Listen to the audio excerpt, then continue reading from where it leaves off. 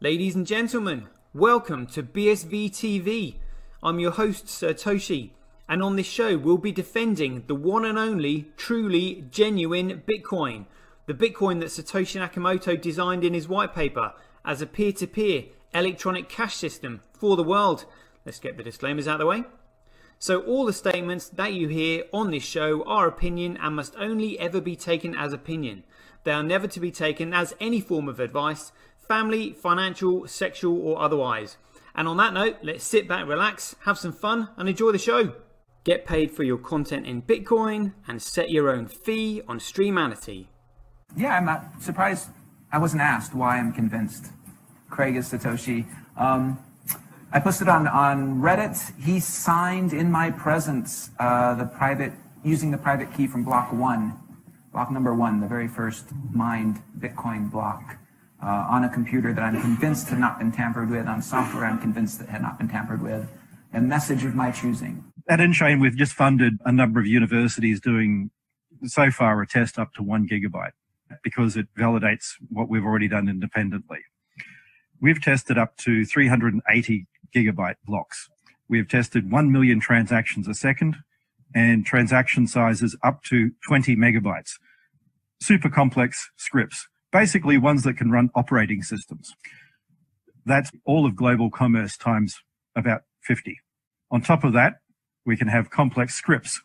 On top of that, we can scale each of those transactions 1000 times, which effectively means about a billion transactions per second, which means we can then have all derivatives, all complex trades. That means high frequency trading. It means everything that happens globally. Is the market that effectively BSV is going for, is that global e-commerce, which is currently valued at $29 trillion? No, that's too small. Buy and sell Bitcoin instantly at bsvgravity.com. And you can now book and pay for your winter holiday at skibsv.com. Good afternoon, everybody. It looks like we are live at 5, rocking and rolling. Uh, let me just uh, sort my tablet out so it looks like uh, so I can see what I'm doing. And the screen is live. Give me two seconds. Whoa. Hold on. Turn that off. Talking to myself. Sorry about this. All the uh, pitfalls of doing a live show. So I can just see myself. That should be coming up in just a second. Yes! Boom! Rocking and rolling. We are there. So, uh, yeah, got a few... Uh, well, there's never a dull moment in Koto, as I've said many times before on every show. But uh, yeah, I mean, just like more information and videos that I want to go through, obviously later on, but we'll go through the statistics at the beginning of the show. So for anybody wondering why we broadcast on uh, Twitch, it's because uh, YouTube have taken down two of my channels already. Then they were preventing me from editing my shows. Then they were deleting episodes. And I was just like, you know what? This is absolutely insane. Considering I only get like, oh, like 50 views on each video. They don't seem to mind all these shitcoiners shilling their shitcoins you know, but when it comes to the genuine Bitcoin, oh, can't have any more than 50, uh, 50 people learning the truth about that, can we? Absolutely outrageous. So every day live at 5 from wherever I am in the world, I do my best to always get online and keep up to date with the figures so that everybody watching my show knows what's going on. Uh, we upload the trailer onto YouTube and then we put the full episode up onto Streamanity where you can set your own fee and get paid for your quality according to how you judge. Well, page you can get paid uh, uh, well you can set your own fee according to the quality that you uh yeah you uh, assess your uh material to be right let's crack on so i've been having great fun to well not really fun today but just dealing with shit shitcoiners you know like doge like goes to the moon in fact we'll just start off looking at doge i mean this is just absolutely hilarious i mean let's let's have a look at this uh, and I've got a great video about short selling later on to uh, to explain it to everybody. Like, okay, so uh, that's up says uh, you know 174. I mean, look at that. that is just absolutely hilarious. Like, honestly. so, like, you know, 510 percent uh, since well, like just over 24 hours ago. Like, uh, abs absolutely ridiculous, you know? Um, and so like Doge goes up and then suddenly thinks that, uh, you know, people, shitcoiners things seem to think that price gives a coin legitimacy. Oh, everybody's into this now. Everybody concurs. We all agree with the same. It's going to go to the moon. No, it has got no fundamental value. I had some Doge douchebag, uh, like, you know, tweeting me earlier on, going, Yeah, but you don't understand. There won't ever be another Dogecoin. There's no other meme like it. it's just like, Oh my God, give me a break. Like, literally, he was saying that because it was Dogecoin, like, that was what was unique about it, and that's what gave it its value. I was just like, oh my god, I've got, I've got, I've got to deal with this douche. So I was just like, well, look, I'll amuse him, you know, and just like I'll, I'll tell him the answers. But as soon as if he ask, if he starts asking stupid questions, as in like going down the wrong route, just simply gonna have to cut him off. So I was like, look, just because something is a meme doesn't mean it has a fundamental value. A meme is funny. Like laughter and humor is superficial value. Like that's what it is. It's superficial. Like because it's funny. There's there's value in the joke. You know, it's a novelty. But then it wears off. There is no fundamental value in it. And he just he just didn't get it. You know, like just shit shitcoiners with shit for brains. So um, I'm going to start off by by explaining how uh, big Bitcoin, the genuine Bitcoin, you know, the one that's native to the uh, Bitcoin blockchain, which is BSV, gets its fundamental value. So when you when you start down the rabbit hole, when you get to the bottom, you're faced with a paradox, and this this is what uh, I'm gonna I'm gonna try and explain. In fact, you know what? Just for uh, you know, just just to get in people's minds, we're going to bring up the uh, Bitcoin white paper so everybody can uh, look at this in all its glory while I'm talking about it. So Bitcoin has to be a commodity. If it is a security, it has a central point of authority or control and it can be shut down. It is entirely dependent on that central point of authority. Now, let's say uh, uh, a coin uses proof of work. Uh, and proof of work dilutes the central point of authority and control over time. You know, and, and it distributes the network. That's why only a proof of work coin can be a genuine digital commodity that can eventually that will probably you know that can uh, be used as money. Now, if you start a proof of work network and you reveal to the world who you are, that means that you discredit the start of the network because you started it. There is that central point of influence. Somebody says, oh yeah, like let's take Litecoin for example. Charlie Lee says, yeah, you know, I, uh, I invented Litecoin. And uh, in fact, while we're here, we're just going to play this little clip while I'm, while I'm on about it. No time like the present. We're just going to have a, uh, a quick listen to what uh, Charlie Lee said about his, uh, his own creation, about how it's an absolute piece of shit. So uh, listen to what he said in his interview and I'll explain it. Here we go. Coming up in just a mo you created Litecoin, right? So this has to be something like you're incredibly passionate about. Yeah, as most of you probably know, um, I kind of created it just for fun, right? It wasn't, I didn't really expect it to become anything. No, I didn't know that, Charlie. But uh, I know why you didn't expect it to become anything, and that's because he started it. He is the very point of inception that discredits it. It started from Charlie Lee. So therefore, I could start my own network. I could start exactly the same thing. I could call it, uh, you know, lighter shades of grey coin. I could call it, you know, light yellow coin if I wanted to. And I could start exactly the same thing that he started. The problem is the centralized starting point. Charlie Lee has not created anything that someone else just simply couldn't replicate the point of inception of the network. Now, the only way, so so that's so he is that central point of influence because he started it. So what Satoshi Nakamoto did, and because he realized there was a paradox of this centralized starting point, he started it under a pseudonym. So that no one knew who he was. And if you listen to Gavin Andresen in uh, interviews or anything like that, they he's they've always said Satoshi Nakamoto was extremely cautious to not reveal his true identity. Like no trace of him online, like no nothing.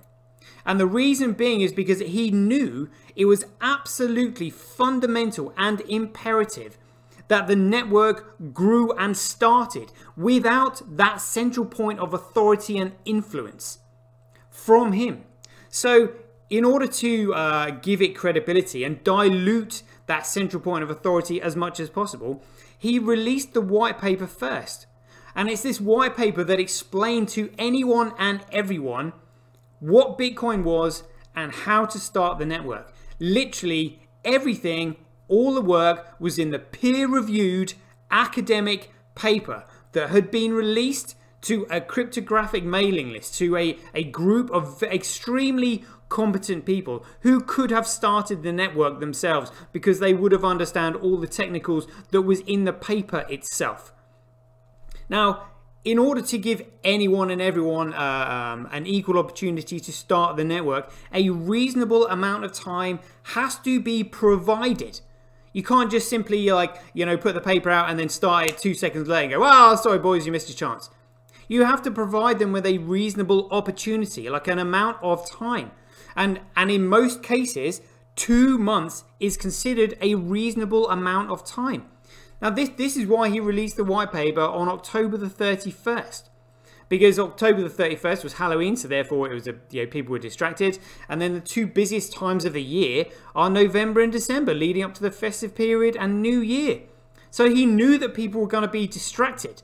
So, but the fact that people are distracted doesn't detract away from the fact that two months was provided. In fact, it was two months and four days just to be uh, just to just to make extra sure that a reasonable amount of time had been provided. You can't say, oh, it was, it was, uh, oh, you didn't provide two months. Well, actually, I provided two months and a little bit more. It was, it was four days. Anybody could have started the network. All the information that they needed was in the white paper. And then on the 3rd of January 2009, after two months and four days had surpassed, he then started the network under a pseudonym and then stepped away from the project. Now, what was exceptionally clever about this pseudonym was the fact that he had to, even then, he had to do his best to decentralize the starting point. So he wrote the paper in English, but he gave himself a Japanese name. So was he English or was he Japanese? His English seemed to be uh, slang English, you know, but the name was Japanese. Now, the reason he chose a Japanese name is because Japan is highly developed, technologically advanced, and politically neutral. If he'd given himself a Russian name, people would be suspicious about his political intentions. If he'd given the Chinese name, people would have the same uh, reservations. If he'd given himself a, like a, a, name from a third world country, people would, uh, you know, question his credibility. You know, whereas like Japan was the like uh, the country that was furthest away from the Western world, which is where the which is where the paper was released, in a country that had a language barrier that would enable him to stay uh, to stay hidden, and a population size that would also uh, hinder people trying to locate who he was. So then you've got a case of right. So there's the white paper here that's been released, and no one knows who released it, and nobody knows where to start. All we've got is a Japanese name. So so now you've got the the starting point divided by two parts. You've got the paper and you've got the author. That's that's how he solved the paradox of the centralized starting point. But not only did he solve that, he had to actually like unravel it, unpack it, like create um, uh, the starting point with well, uh, dissolve the centralized starting point, and that's how you do it over time with proof of work. So the network grows um, and it dilutes further as more and more people come in. Now this, this it's the neutral growth that gives Bitcoin its fundamental value that no other network can compete for. And now, as we now know, um, Satoshi Nakamoto planned to reveal himself uh, after uh, the 1st of January 2020 after the network had grown for a period of 10 years. 10 years. Now, it's this 10 years of neutral growth that absolutely no other network can compete with. This is what gives Bitcoin its fundamental value as money. It's neutral growth, like not a meme, not anything. I mean, I know I'm sort of like, you know, talking a lot here, but if you're intelligent, you'll probably be able to keep up with what I'm saying. But, you know, these shitcoiners, like, literally have no idea about this.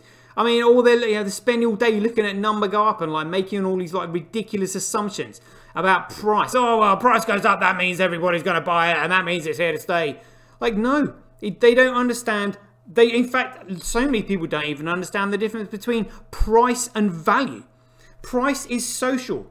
Price is set in a uh, particular market at a specific moment in time where you have the factors of supply and demand in that market. Whereas value is its potential.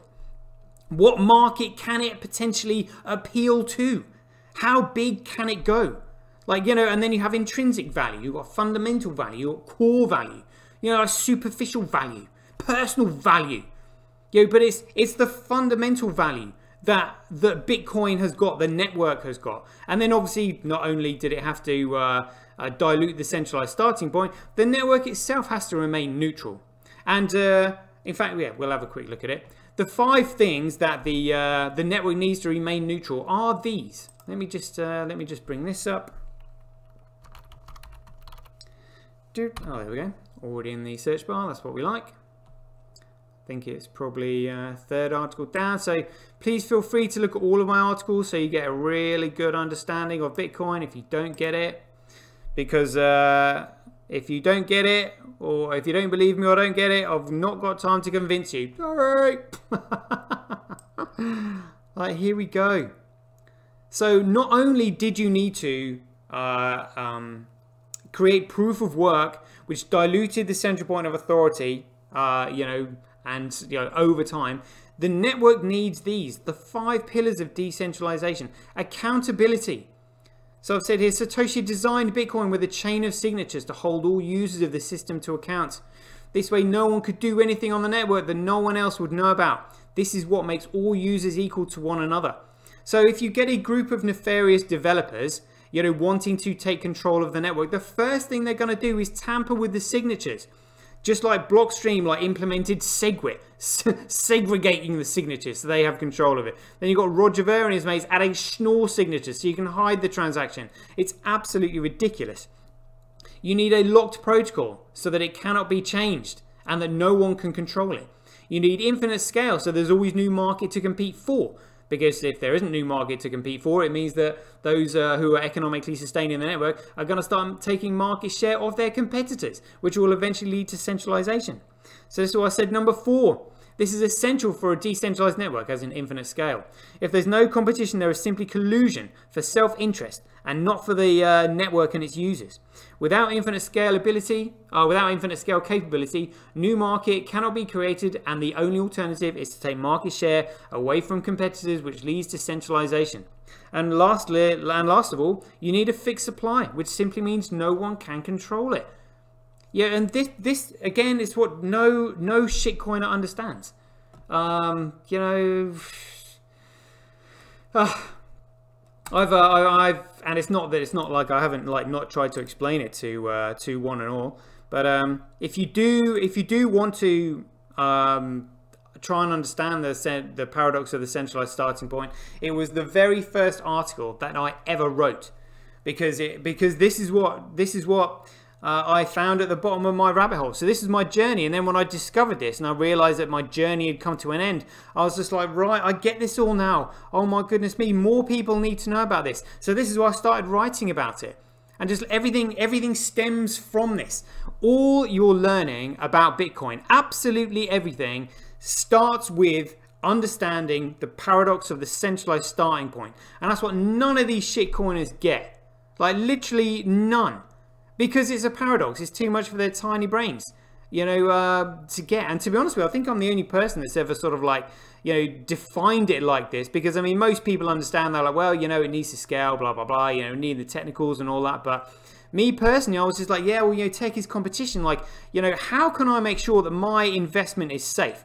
What is it that I'm buying? What gives it its fundamental value? And then I realized it was the it was the solving of the paradox of the centralized starting point that is unique to Bitcoin. You know, so then you, when you realize it can only be the Bitcoin uh, network because of how it started, you then look to make sure that those part those five um, pillars of decentralization are intact, and you realize that CoreCoin are completely out the window because of SegWit, and um, and Bcrash is completely out the window because like Cash Fusion that Roger is uh, you know so proud about, and uh, you know, Schnorr signatures and just and tampering with the protocol, like changing it every six months so it's not fixed. Like it's absolutely you know, in infinite scale. They're not even scaling it. Oh, we need transactions on chain first. No, you need the scale first, and then the transactions will come. Like they like they say in is it Field of Dreams, build it and they will come. That's uh, that that's what it's all about. So uh, yeah, let's uh, the newbies who are first on my channel. Um, this, this again, this is kind of this describes what I've well, this illustrates what I have just described. Uh, so this shows you that on the uh, the 24th of August 2017, SegWit was implemented, and this is what caused all the animosity between the camps. Because if you are going to change Bitcoin, you change the name to let other people know that you are fundamentally changing it.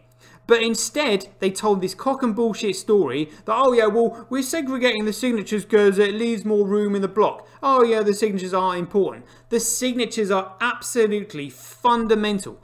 But this was back in 2017. And as we know, uh, Craig, well, you know, Craig hadn't planned to reveal himself until at least the 1st of January 2020 in order to give this network its growth. Because it's, like I said, it's the fundamental growth that gives Bitcoin its value. And like, you know, another network might be able to last like maybe five, six, seven years without anybody finding the creator. But 10 years, an entire decade, that's a tough one. And not only is it a decade, it's actually like 11 years pretty much. If you say like 30 January uh, 2009, so it's basically what 11 years and 362 days to be precise. Uh, oh no, 10 10 years. Yeah, 10, 10 years and 362 days to uh, to be precise. So it's effectively um, 11 years worth of neutral growth. You know, by the time it gets to a certain size, you know, if anybody did try to compete with uh, Bitcoin and create uh, create a competitor, they would have to they would have to keep the new they would have to keep the the growth of the network neutral for 11 years. Now that is a tough one. This can i very much i i think the chances of this ever happening again are virtually zilch. Literally like virtually zilch you know? So uh, again, for any shitcoiners who don't believe me that uh, Blockstream fundamentally control BTC now, listen to what Samson Mow said in his interview with Simon Dicktwit and Max Keiser. Here we go. Bitcoin was created by by the central bankers that enslave you today. It is their scapegoat.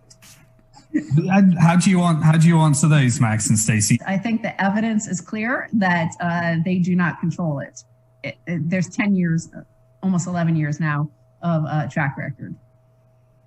Yeah, yeah Blockstream controls they, it. I'm sorry. Go ahead. Who does? Blockstream. Boom! Boom! That is the bombshell. That is the bombshell. Unbelievable. You know, but these shitcoiners, they just don't get it. Like, they, they honestly, they honestly just don't get it. So that's BTC taken care of just in two words. Blockstream. I'm sorry, who does? Blockstream. Mentioned twice, just in case they didn't hear it the first time around. And uh, now let's have a listen to uh, Roger Ver bragging about how he loves uh, anonymity. Which again, if there is anonymity in the network, it means that uh, there is no reasonable expectation in trade. And if there is no reasonable expectation in trade, it means no legal recourse can be can be granted if you are using it as a medium of exchange to uh, to trade goods and services. So uh, let's have a listen to Roger bragging about his piece of shit, shall we? Here we go. I have a question here from SirToshi, defender of Bitcoin. He said, if a cryptocurrency is anonymous, like BCH, I don't think BCH is anonymous, but maybe there is something. Check out cashfusion.com and, and you, you combine oh. that with uh, reusable payment codes and you get Bitcoin Cash in the same sort of ballpark of privacy as Monero. It's really awesome. So you can check Oh, out okay. Cash Fusion. And I always get it wrong. I think it's .com, but it might be .org. So you can check both. Cashfusion.com. And there you have it. Absolute piece of shit. And uh, if you wonder why uh, I call it B Crash, because it's a piece of shit, it's because uh, Roger calls it B Crash himself. Have a listen to this. Here in Antigua. Oh, let's see if we can get it. Time. Uh, just go use your Visa card. And we're going to really spread Bitcoin Crash across the entire country here in Antigua. Good luck with that, Roger. Spreading an illegal, an illegal, unregulated crime coin across an entire country. You absolute fool. Uh, that's uh, is all I can say to that. Honestly, I'm just, I'm just, I have utter contempt for these complete shitcoiners.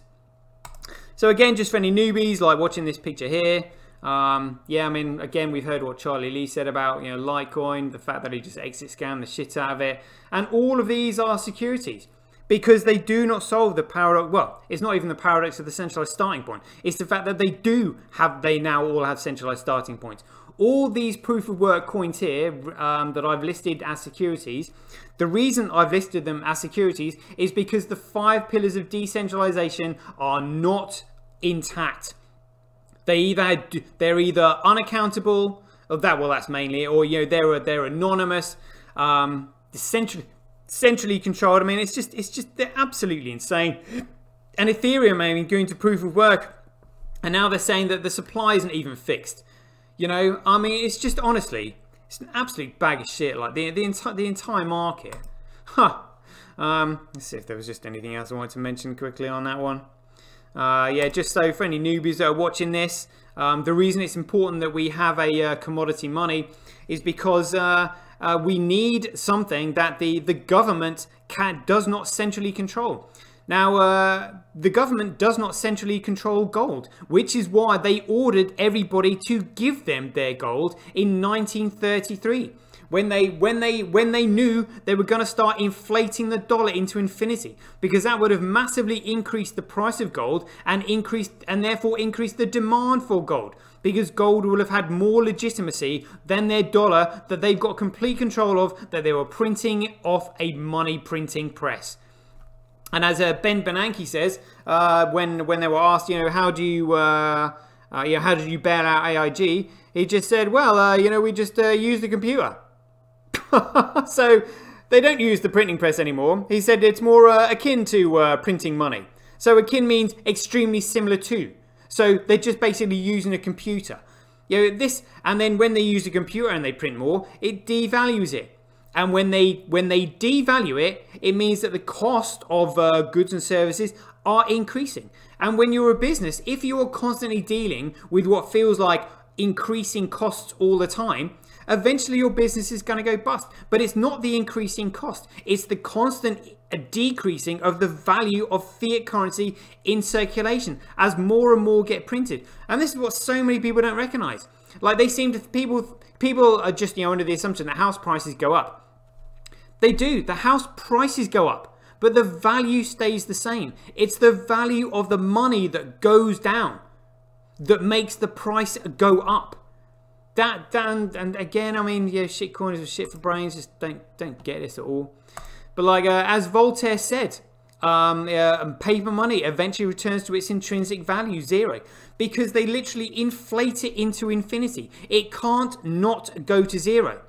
And then uh, as uh, as as it causes more and more problems, as more and more printed, as more and more money is printed, they need to print even more money to fix the problems that the initial printing did. So it cannot ever not go to its intrinsic value at zero. This is why we need a commodity money that is divisible. And this is Bitcoin, the greatest money that this world has ever seen, ever. Uh, just, oh, just conscious of the time there. So I've been going for uh, 29 minutes. Oh, God, I haven't even done coin dance yet. Oh, let's do this, Con. Have a look at these figures. I'll have a look through some of the uh, messages in the op return, see if there's anything there for us. So again, I'm really not bothered about Bcrash and uh, Coin, the total shit coins. Just going to go through Bitcoin here. So we've got uh, uh, Bitcoin with 2% of the hash rate, network nodes 2.2, transactions 33.3. Oh, head of core Coin, get in there. Uh, oh, what's this? B crash 34.1 again like the marketing but look at this block size 42.6 in comparison to uh, 35.8 and 21.6 for those uh, utter shit coins uh, so we'll just play uh, spot the biggest block on B crash oh they've mined a, uh, a 3.2 megabyte block that's pretty good for B crash uh, 3.3 biggest one on their on their network Cool coin with a uh, block size restriction, not going anywhere, Michael Saylor. One day you will look at my show and Alex, and you will understand what I was trying to explain to you, and you'll be like, I don't believe it. Well, the numbers do not lie. They speak for themselves. So you're to learn the hard way, mate. don't say I didn't try. So, uh, but look at this straight out the gate on Bitcoin Town with a 13 megabyte block. Uh, huge compared to these other shit coins and we've got 5, 4, 3, 6, 3, 3, 10 megabytes, 12, you know, absolutely huge, uh, well, in com comparatively speaking.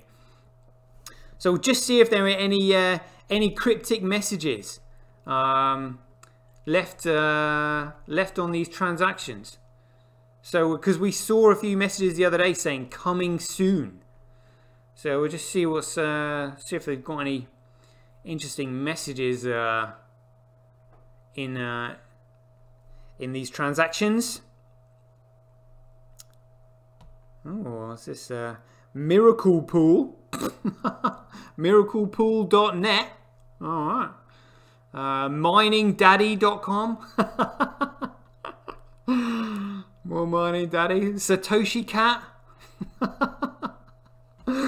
oh dear. Oh, this, this is hilarious. You know, I mean, I don't often look at these uh, messages, but as we're looking for a one that says like, you know, coming soon, and uh, talking about coming soon, I noticed in the uh, messages that we looked at yesterday, uh, people were going on about keeping your eyes open.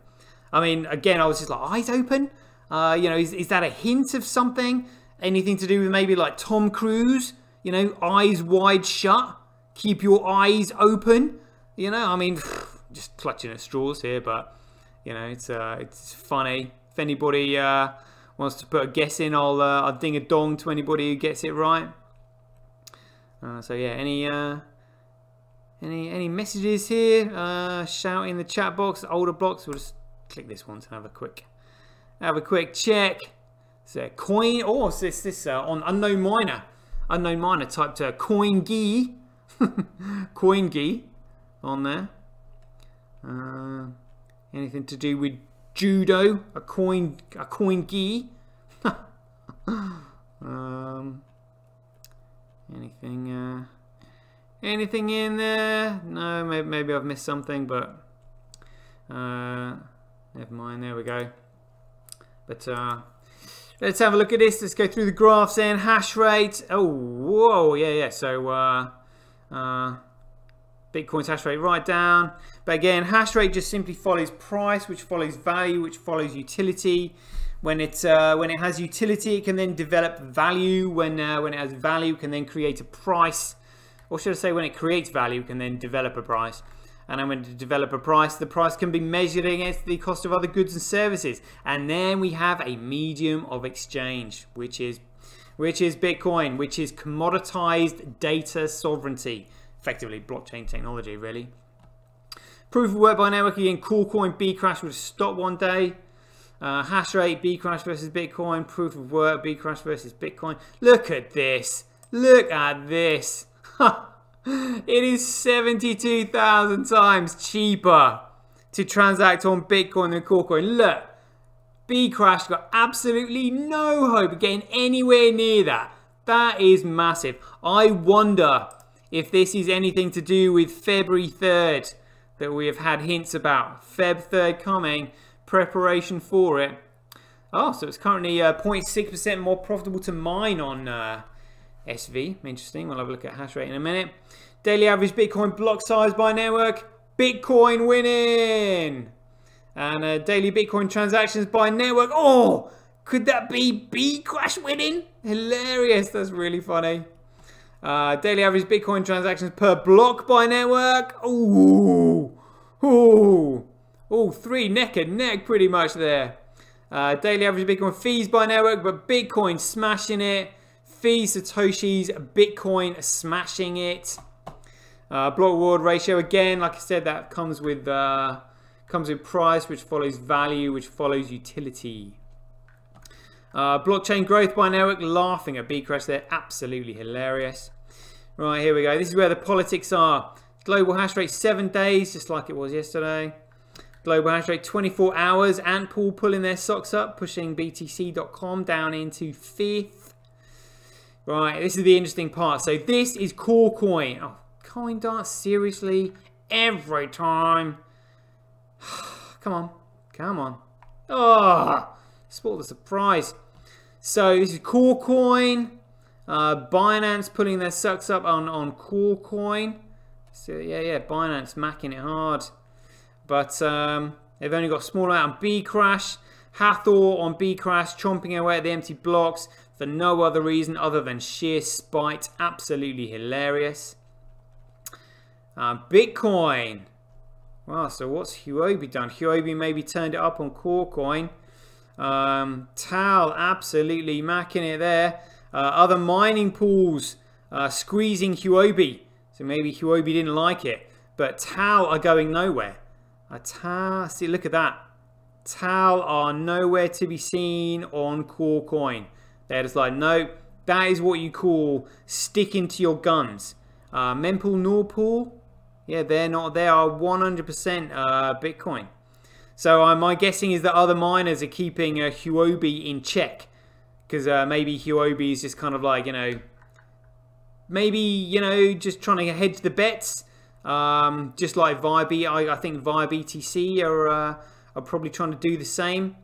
You know, because they seem to be on all the chains, just literally just hedging their bets. So maybe that's what Huobi are doing. Hedge betters. Huh. Uh, but Hathor is definitely a, uh, a Bitcoin miner, and uh, as is TAAL, as is uh, Mempool Norpool. But look at this. Uh, Poolin and F2 Pool and BTC.com. Again, the three uh, the three Mac Daddies um, gesturing on the chain. Very rare to see all three of them on there at the uh, at the same time. Wow. Interesting stuff. Interesting stuff. Uh, right, so let's have a uh, quick look at the chain working live in front of our very eyes again for shitcoiners who are watching this for the first time, asking what Bitcoin is. Um, this, these are the, well, the uh, vertical rectangular blocks at the top. The transactions being recognized by the nodes on the network. These are the transaction generators below that. And then we've got the, uh, the transaction ID, the input, the output, the type, and the op return. The mempool is where the transactions are then thrown into and uh, the miners and the payment processors compete to process the transactions, store them in a block, and then put the block on the blockchain to win the Coinbase, which is currently 6.25 Bitcoin.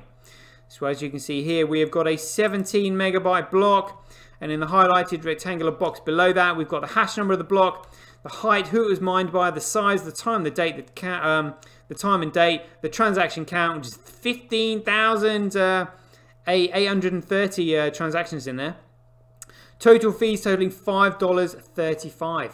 And uh, as we know, we are expecting um, the fees in the block to surpass the the uh, the Coinbase, which is about thousand dollars, which is you know 6.25 Bitcoin in quarter one 2020. So let's just remind ourselves of this epic image and I say, I mean, literally epic. Yeah, if this can be done, I mean, this is just absolutely phenomenal. You know, so here we go. Uh, transaction, uh, transaction subsidy. Look, so surpassing the block reward. Crossover anticipated around quarter one 2021. Something mahusive is on the way. Like, absolutely mahusive. Um, so yeah, that's that one. Just have a quick look at uh, bit info charts for any newbies who are seeing this for the first time. You can compare all these shit, shit coins across the top, including Dogecoin. Oh my god. but we'll do um, average transactions, um, yeah, per hour. We'll go to log, and in three years, uh, we'll put uh, Bitcoin in there, obviously, and then we'll add uh, Bcrash for lulz. And uh, you can see in front of your very eyes Oh, uh, so so uh, turquoise blue here is Bitcoin, is, is SV, so that's Bitcoin. Um, oh, so this looks like B Oh, we've got Dogecoin in there. Oh my god, seriously? Dogecoin? What the hell? Oh, take that one out. What a joke. Literally. Huh. Yeah, so uh, B crash, yeah, the, the uh, transactions every 24 hours. But I mean, look, look at Bitcoin. Absolutely smashing it.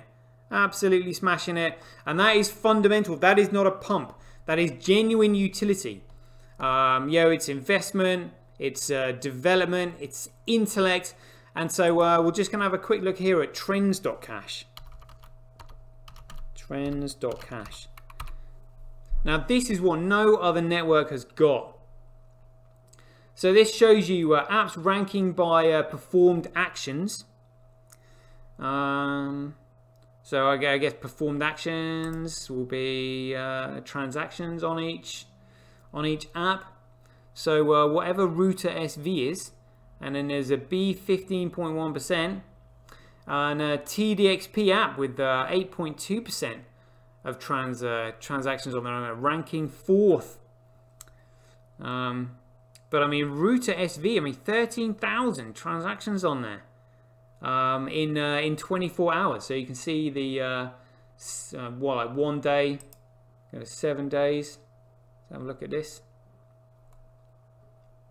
Yeah, pretty great stuff. I'm gonna have to uh, check this chart out um, on a daily basis. I think. Yeah, trends.cash. Um, I'll go back. That's one, man. That was the one I wanted to click on. Back again. And now I'll have a look at value. So this is apps uh, ranking by money spent. So where is this money being spent? Look at, oh, a RelayX.io. Suddenly huge amounts being uh, being spent on RelayX.io. That's massive. Uh, I wonder what's bringing that in.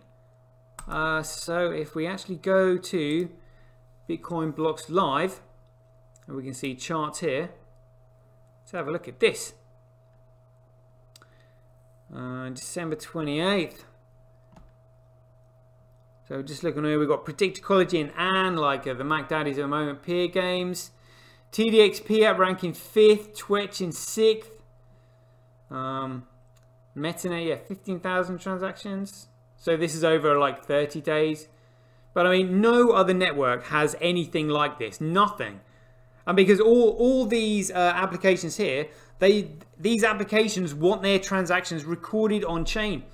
Now, what other um, institute or what other businesses want their transactions recorded on chain? Well, I'll tell you, all of them, particularly financial institutions like banks, they are absolutely paranoid about uh, losing their data because if they were to lose a record of one customer's transactions, they would immediately be fined 10% of gross global profits because it is trust that underpins the entire financial system.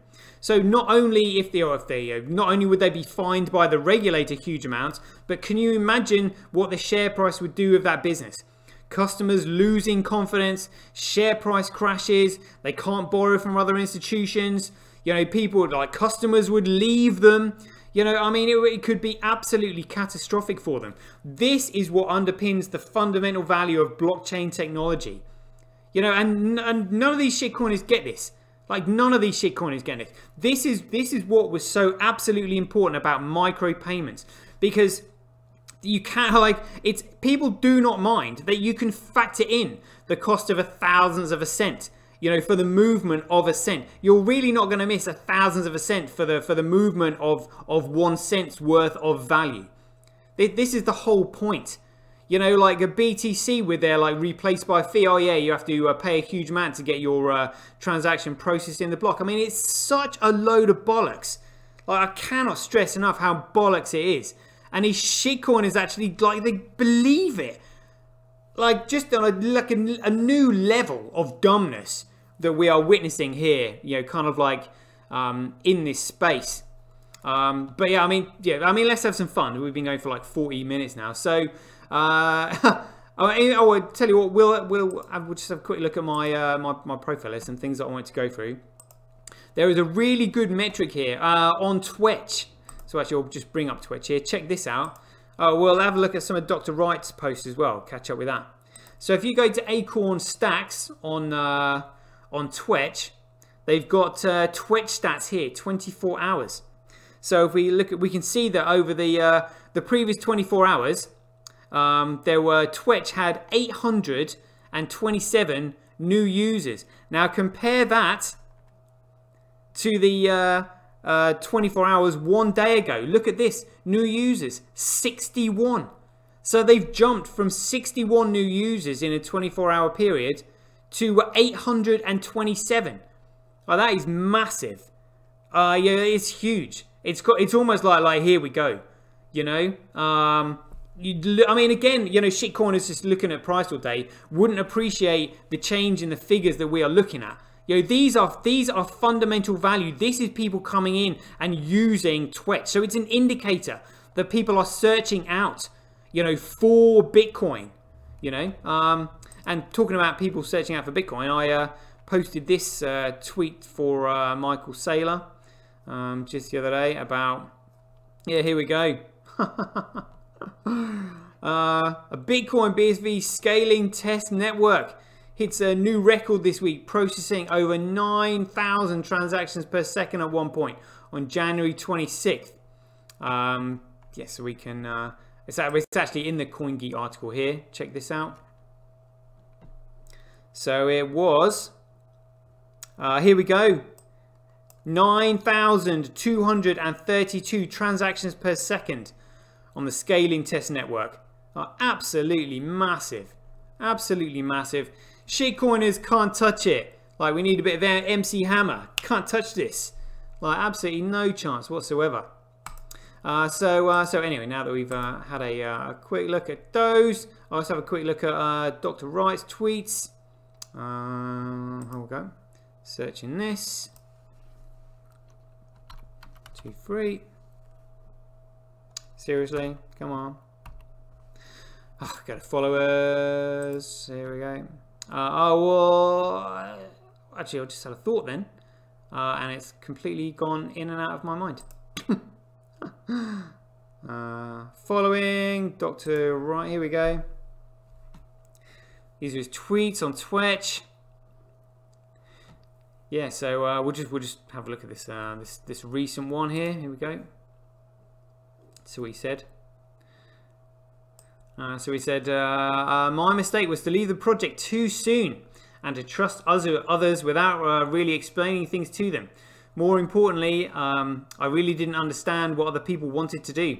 I was completely da um, uh, daft enough to believe that when I said the protocol cannot change, that this would be enough to uh, make sure that people like Gavin and other um, um, stewarding the uh, project wouldn't change it. I don't blame Gavin. Mobs can be difficult to resist. Yeah, too, right?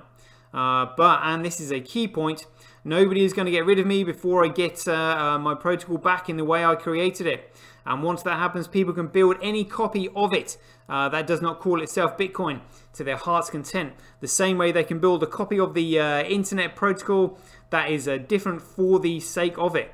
The uh, distinction is that I will not let them call it Bitcoin, just as you can't call a copy of Tesla Tesla. In doing this, the irony that people don't get is that I have uh, uh, no power other than saying that the protocol is set. The only power I have is to stop myself exercising power to change the protocol, and that is the power that other people can uh, enforce on me. Yeah, um, just watch this space, people. This is what I want to look at. Check this out. So this is, uh, oh, uh, value's gone up in my wallet. Great stuff. I mean, this, this is really good. So if you want to uh, make a post on Twetch, uh, so yeah, let's do this. We'll do, uh, uh, actually, notifications. Check this out. So, uh, oh, so um, uh, uh, Marshall Nomad followed me. Check this out. And uh, TD Verge, I can see you in the chat box as well. Thank you for liking my uh, my post there. Oh, so look, so uh, so four cents. Uh, I can't remember how much it costs to um, you know uh, post that. Like three cents maybe. Three cents to post it and uh, receive four cents for the like. And uh, and uh, Marshall Nomad uh, paid uh, eight cents to, well, I got eight cents for him to uh, follow me. Great stuff. So what I do is I go to my followers and then that comes up. So the last one, Marshall Nomad, click on their profile, and it's there. Because I paid for Twetch chat, I open that, and then I'll just write a little personal message to them. So, hi, uh, uh, Marshall Nomad, thanks, come on, thanks for following. Cheers, Toshi. And uh, so the reason I just write a little message like that is because uh, I, I, had to go through what like 233 followers, but now I'm up to date with it, and it just means that I've opened up a, a direct chat with everybody. So um, so that's pretty cool. But this is how you post on Twetch. You just simply go to uh, create a post, and then I say uh, uh, live live show test test post wallet use. There we go. See, look, 2p to post, or 2 cents to post that. Twetch it, boom. There we go. View that. There we go. And I can just go to my uh, to my home, and there it is. Live show test post wallet use. Boom. On Twetch, and uh, you can actually see the uh, the transaction ID. And here, so it says move this thread, uh, copy link, uh, blockchain transaction and then uh, translate post. But check this out. Go to the blockchain transaction and you can see it on chain, stored in uh, Bitcoin files. This is the transaction ID. This is the summary of that transaction. It's got the uh, block hash, the time, yeah, total inputs, total outputs, transaction fee. And it's got here like, you know, uh, Twetch post payment. I mean, it's, it's just such an awesome system. An awesome system. There we go. Well, that'll do. Right, guys, I uh, hope you enjoyed the show. Been going for one hour, 20 minutes, so we'll leave it there. And uh, as ever, be aware, take care, stay safe out there. Joy given. Same time tomorrow. Catch you later. Get your tweet etched on Twetch, forever on the Bitcoin blockchain. Do it today at www.jointwetch.com. Buy BuyBSV.live, the best place to buy Bitcoin SV online. Get paid for your content in Bitcoin and watch the full episode on Streamanity for just 20 cents. Go to www.sirtoshi.tv. See the link in the description below. Bitcoin, one world, one chain. Yeah!